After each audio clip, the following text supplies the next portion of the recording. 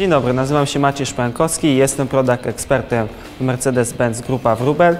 Dzisiaj chciałbym przedstawić Państwu nowe CLA.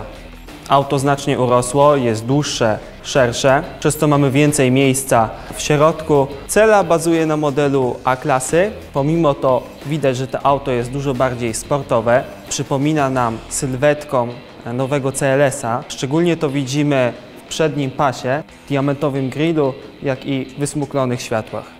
Zaczynając od wydłużonej maski, przechodząc przez dynamiczną linię dachu, kończąc na szerokim tyle ze smukłymi światłami, widzimy, że to jest samochód sportowy, jak i elegancki. Nawiązując do tylnych smukłych świateł, warto zwrócić uwagę, że są one w tej chwili podzielone, dzięki czemu zyskujemy większy otwór bagażnika. Wsiadając do nowego cela, widzimy kontynuację sportowego charakteru auta. Uwidacznia się to poprzez sportową pozycję za kierownicą, jak i widoczną przed kierowcą długą, elegancką maskę. We wnętrzu nowego cela widzimy system MBUX, dobrze znany już z A-klasy, jednak tutaj mamy rozwinięcie tego systemu.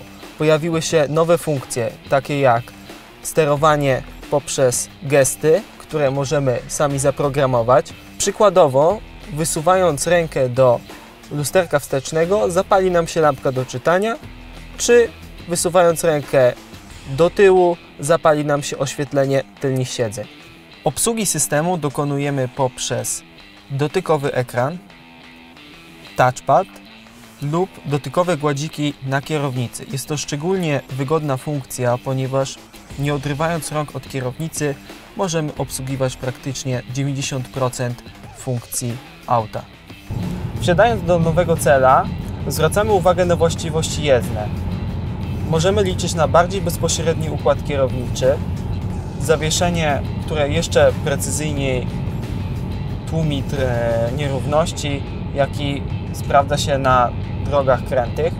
Prowadząc nowe cela, możemy odnieść wrażenie, że jest to auto klasę wyżej od poprzednika. Auto się zdaje zdecydowanie bardziej obszerne, potężne. We wnętrzu auta jest również znacznie ciszej dzięki niższemu oporowi powietrza, które stawia samochód. Ma to również pozytywny wpływ, jeśli chodzi o spalanie.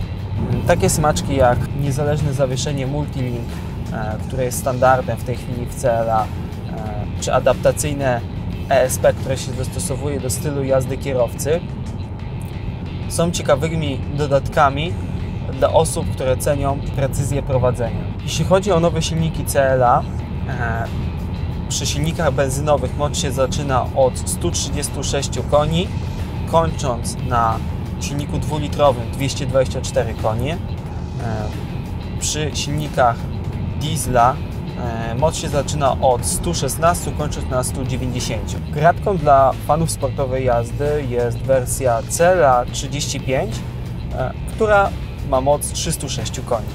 Nowe CLA ma rozszerzone systemy bezpieczeństwa, zarówno jeśli chodzi o systemy aktywne i bierne.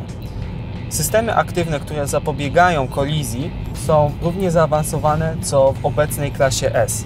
Jest to bardziej bezpośredni układ kierowniczy, czy jeszcze precyzyjniej zestrojone zawieszenie. Jako opcja jest również zawieszenie o e, zmiennym tłumieniu drgań, e, dzięki któremu możemy zmieniać wraz z trybami jazdy Dynamic Select twardość tego zawieszenia, co wpływa na komfort, jak i na prowadzenie pojazdu. Jeżeli chcieliby Państwo sami się przekonać, jak jeździ nowy model CLA, zapraszamy do salonów Mercedes-Benz Grupa Wrubel. Do zobaczenia.